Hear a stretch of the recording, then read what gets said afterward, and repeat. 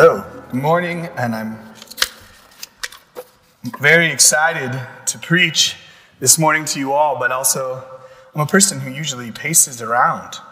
Uh, so if I step outside of this, you know, plastic thing, you guys can throw things at me or whatever, because I, I, don't mean to. Uh, I'll, I'll stay to my confined space as best I can. Also, McLaren's, thank you so much for leading us in worship today. It is so awesome and special for me to get to be a part of the congregation and sing with you all. So I feel very blessed by that today. Um, before we get into our text, if you guys will bow your heads with me as we pray. Father, thank you so much for your word to us. As we dive into it this morning, speak to us, change us. Let us be ready to receive in our hearts and in our minds what you have for us. And let us be a church on mission. I pray this all in your name. Amen. So today, okay, I got to move this spaceship of a, a screen here. Today, I get to continue in our series, Who is This Guy? And it's been great. It's been really awesome to watch Matt escort me to this text because I've known about um, my opportunity to preach here for a month or more. And as Matt preaches each week, I'm like getting more and more excited because he kind of left me a really good text here. It's a really popular one. Um, you know, the story of the paralytic man in Mark 2. But it really helps us to get to know this guy but before we get into our text, which will be up on the screen for us, I want to put one question on our mind. And, and maybe you think the first thing that comes to your mind when I ask this question What is your greatest need? What is your greatest need? Now, as we walk through this message today, I'll touch on that more. But let's read Mark 2 1 through 12 together. Uh, and this is going to be in the ESV. Uh, there are Bibles in your pews. And I would encourage you to have the text with you because we're going to work through it verse by verse here. But I'll read the whole of it here for us, and it'll be up on the screen. And when he returned to Capernaum after some days, it was reported that he was at home. And many were gathered together so that there was no more room, not even at the door. And he was preaching the word to them. And they came, bringing to him a paralytic carried by four men. And when they could not get near him because of the crowd, they removed the roof above him. And when they had made an opening, they let down the bed on which the paralytic lay. And when Jesus saw their faith, he said to the paralytic, Son, your sins are forgiven. Now, some of the scribes were sitting there, questioning in their hearts, Why does this man speak like that? He's blaspheming. Who can forgive sins but God alone? And immediately, Jesus, perceiving in his spirit that thus questioned within themselves, said to them, Why do you question these things in your hearts? Which is easier, to say to the paralytic, Your sins are forgiven, or to say, Rise, take up your bed and walk? But you may know, but that you may know that the Son of Man has authority on earth to forgive sins, he said to the paralytic, I say to you, Rise Pick up your bed and go home. And he rose immediately, picked up his bed, and went out before them all. So that they were all amazed and glorified God, saying, We've never seen anything like this. Okay, I'm gonna, I'm gonna start here in verse 2 for us as we walk through this chunk by chunk. It says, When he returned to Capernaum after some days, it was reported that he was at home. And many were gathered so that there was no more room, not even at the door, and he was preaching the word to them. This is an amazing story in the Gospel of Mark to look at the life of Jesus. This truly does help us to see who this guy is. I mean, he dramatically changes the life of one man and significantly impacts the rest of the audience there. With, with Matt's, Matt's message last week, we started to see this large following that Jesus is having in Galilee.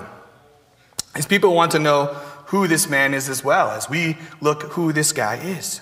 Is he the Messiah, a great teacher, a healer? Is he God? Jesus had been healing and teaching, and there was this huge following, right? But that's why we see when he enters into Capernaum, he needed a place to go and teach. The crowds that followed him were so large. I sort of feel like he needed a, a limited space so he can focus on the, on the preaching because he was being swarmed.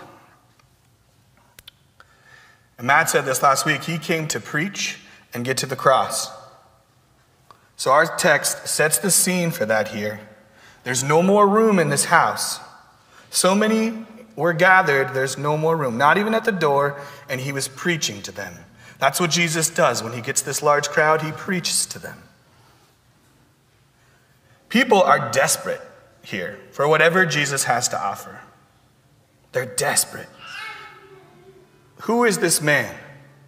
He's famous, he's popular. We sing songs in church. Jesus, the famous one. Think about that. I mean, right now, in a weird year where we see churches not gathered like this, this gathering is definitely not COVID friendly. It's a different scene here, something we have to imagine. Why are these people here? Is it the miracle working of Jesus? the teaching of Jesus, the hype, just because it's what everyone else was doing. You know, I heard a preacher say earlier this week, it's not the mir- or, or Jesus is not a miracle worker that sometimes preaches. We have to remember that. He came to teach and get to the cross. But I think what draws the crowd often is the miracle working of Jesus' ministry. Verse 2 says he preached the word to them. That's what he does. He's not opening a hospital, he needs them to hear the word. Mark makes this very clear. Let's look at verse 3. They came in, bringing to him a paralytic carried by four men. Four men carrying a paralytic, probably on something like a stretcher. I don't know what their, their stretcher was like in these days. But they must have known Jesus would surely heal their friend if only they could get to him. The text tells us they can't get in, there are too many people. So, verse 4 And when they could not get near him because of the crowd, they removed the roof above him. And when they had made an opening, they let down the bed on which the paralytic lay. Now, we've all uh, probably seen a sermon interrupted before.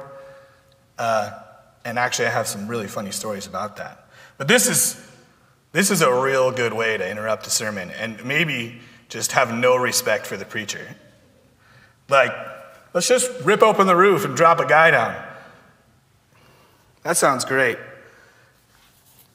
And I don't know really a lot about the construction of this home, but I know they had to carry him upstairs. And in Luke's account of this story, they say they had to remove tiles. So they're, they're destroying a house.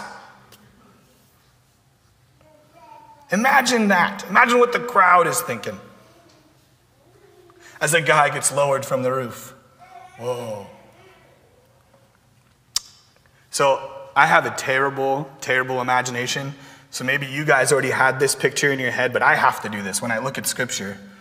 I have to think about it a lot. I, I love movies because when I read books, I see stick figures and it's a lot more boring. But when I watch a movie, I'm like, wow, that is amazing. And the scene here is amazing. And I want to capture every bit of what Mark is showing us. A man came down from the roof in the middle of a sermon. What desperation these men have to get to Jesus. Think of that. When are you desperate to get to Jesus? You know, my physical ailments get me to a very humble place. Some of you might know I, I call myself a bit of a hypochondriac. I've gone to the hospital before and they've kind of laughed at me and sent me home for, for silly things. But these things make me really humble. And I get alone with Jesus and I pray and I beg for his mercy. I pray for miracles. I'm desperate in my inconvenience. I'm desperate in my inconvenience. Let's look at verse 5. When Jesus saw their faith, he said to the paralytic, Son, your sins are forgiven. Something really important for us to notice here is that text says that Jesus saw their faith. It doesn't say the faith of the paralytic man. It actually doesn't reference the faith of the paralytic man. It says their faith. He's talking about the faith of the friends. This is just a little side note, but I think it gives us a really good picture of the church. Sometimes we don't know how to help our friends, and we need to bring them to Jesus. And this, this year, especially, I feel like we have people crying out in a new way. And we're seeing a pandemic that, you know, there's so many things that we have never seen before in this time. We can't give assurance to people, but people are desperate for an answer, for hope, for joy, peace. Scripture tells us these things about Jesus. Matt said it at the end of his sermon a few weeks ago get with Jesus, get with Jesus. And here we see the faith of the four friends. And Jesus acknowledges that because of their faith. Not only that, but think about this it would be harder for them to raise the paralyzed man back up on what I assume is probably a sketchy stretcher through the roof they just destroyed then it would be for them to just let him down. They had some faith that Jesus would heal this man, that he would be able to walk out. And Jesus sees that and he acknowledges it. I want to encourage you if you have a friend in your life, maybe that came to your mind as I'm, as I'm telling you this story. I, I think of people, and I wish that my uh, desire to get them to Jesus was like these friends. You know, I'm comfortable being like, well, that guy's super lost, but hopefully I can see him next week, you know. Hopefully I can talk to him again sometime.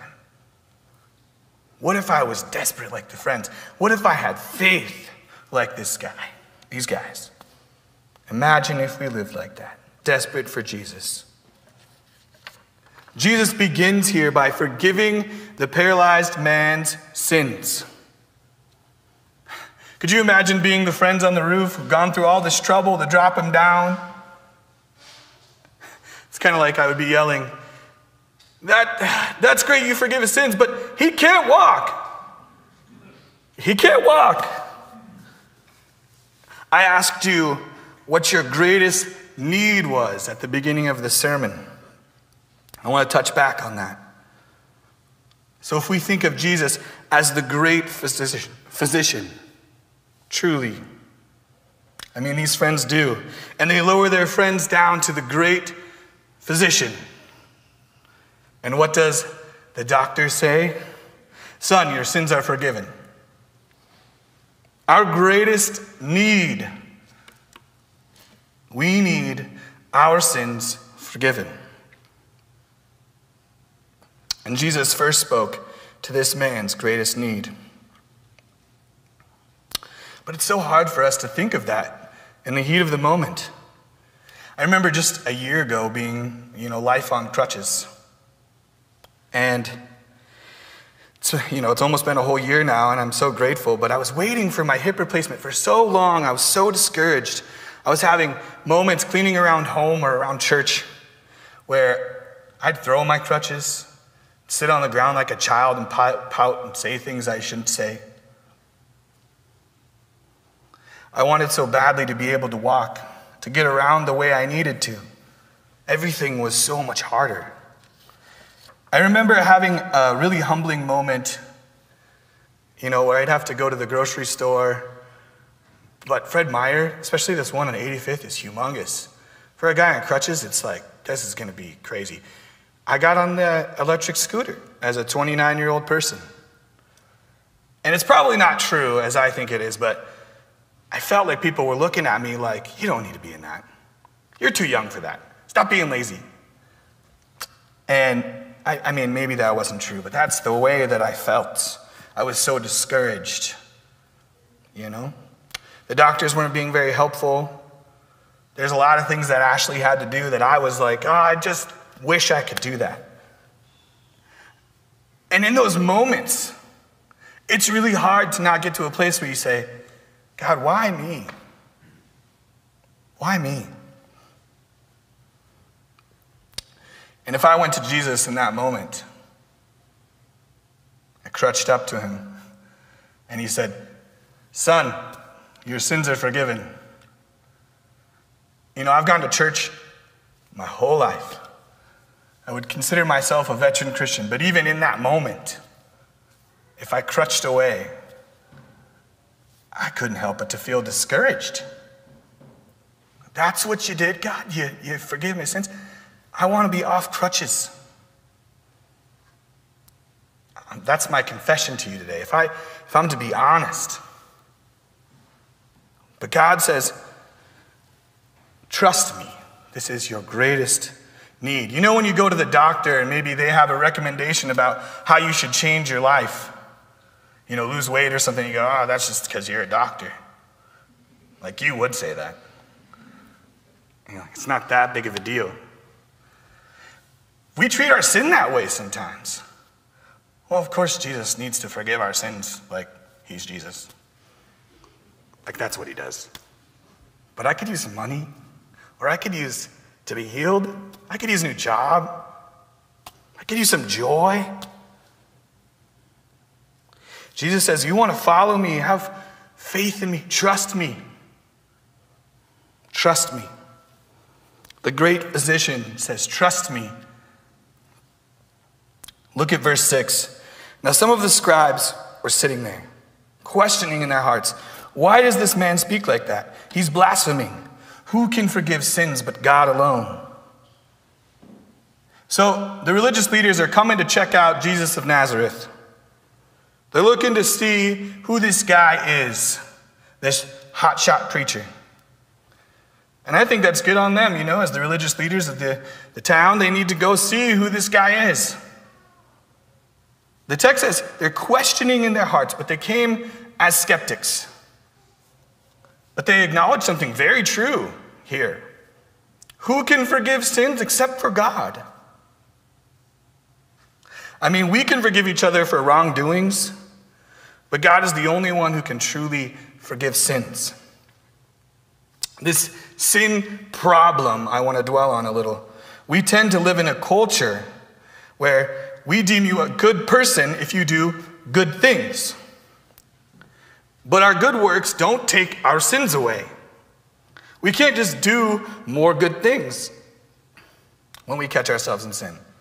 That doesn't get rid of the sin that we carry around. We can't get rid of sin for each other. Success can't get rid of it. Our spouse cannot get rid of it. Our family and friends, they cannot get rid of it. You can't get rid of it. Money can't pay for it. No matter how much we have, nothing can get rid of the sin problem, only God. And the religious leaders know that. They're outraged by Jesus because he can't do that. He can't teach these lies into a massive crowd. Look, look at verse 8. Immediately, Jesus, perceiving in his spirit that they thus questioned within themselves, said to them, Why do you question these things in your hearts? So I, I learned something about this part of it earlier this week, talking with Pastor Matt, and I realized something for the first time. It says, Jesus perceiving in his spirit that they thus questioned this in their hearts. So the scribes didn't say this out loud. It was clear the Holy Spirit gave Jesus this knowledge. Mark wants us to know this. He made it, he stated it that way. When I first read this, I imagined that the, the scribes yelled out, Blasphemy! But that's not what it says. It says that Jesus perceived in his spirit, his intuition coming from the Holy Spirit, from God, You see in this series, who is this guy? We're learning so much about Jesus. In our text today, so many things point out the fact that Jesus is God. And here helps paint that picture. In verse 9, he says, Which is easier to say to the paralytic, Your sins are forgiven, or to say, Rise, take up your bed, and walk? What do you think the people thought, or the scribes thought? Some of us here know what we're supposed to say because we've you know, been going to church, and you're like, Well, it's easier, it's easier for him to heal the guy. But I want to take a minute to explain that. For Jesus to heal our sins means for Jesus to get to the cross. We know that. But to become a human, to live a perfect life, to stand amongst his betrayers and love them, to take a brutal beating that he didn't deserve, to hang on a cross with nails in his hands and nails in his feet and a crown of thorns and a spear in his side. Which is easier? for Jesus to heal this man or to forgive our sins. Let's look at verse 10. But that you may know that the Son of Man has authority on earth to forgive sins, he said to the paralytic, I say to you, rise, pick up your bed, and go home. And he rose and immediately picked up his bed, went out before them all, so that they were all amazed and glorified God, saying, We never saw anything like this. Jesus makes a dramatic announcement. He wants us to know the Son of Man has authority on earth to forgive sins. What a mic drop sort of moment. He wants those religious leaders to know he has power to forgive sins. Jesus tells the religious leaders, I am God. Our series, Who is this guy? This is making an amazing point. He's fully man and he's fully God. Our forgiveness is free, but it's not cheap. The cost for Jesus was great. It's kind of my favorite, this picture. The question about which is easier, to forgive sins or to heal him.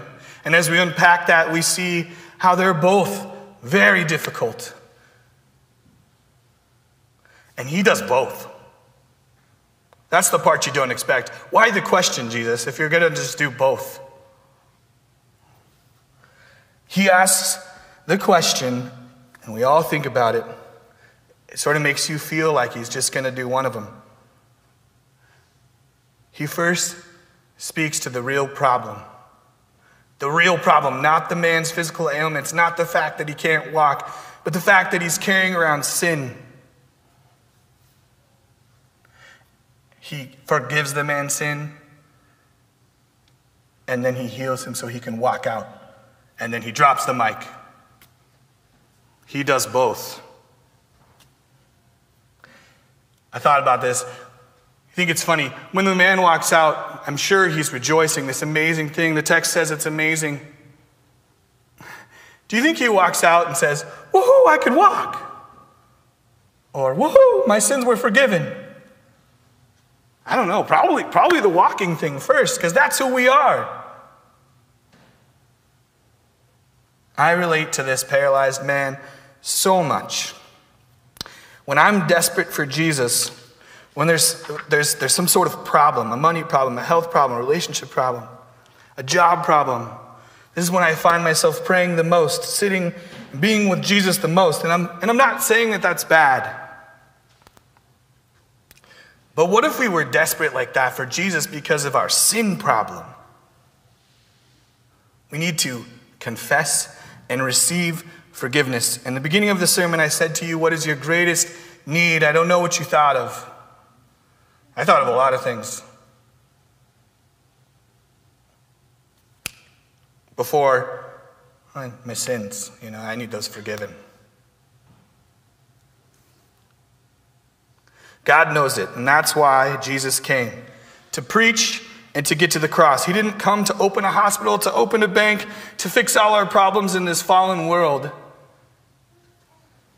He came to get to the cross, to pay the high price for those sins, to be perfect and sufficient sacrifice for us. He came to fix the sin problem.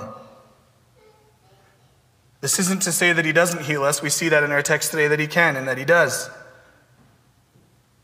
Or that we shouldn't cast our worldly anxiety on him, because scripture tells us to do that as well. But we see in our text today that he works miracles in our lives in those ways too. But the message for us today, our greatest need, we need our sins forgiven. And Jesus can do that. We have a merciful God that can do that for us. Let's be desperate for Jesus. He died on a cross for you and for me so we can have our greatest need fulfilled because he loves us. Let's pray. Father, thank you for your word today. Thank you that you can forgive sins. I pray as we absorb this message today that our anxieties can be calmed, that our worries can be cast on you because you've paid the most important price for us, God, in your Son, Jesus. Our biggest worry in the world is satisfied in you. Don't let us forget it, God. We pray this all in your name. Amen.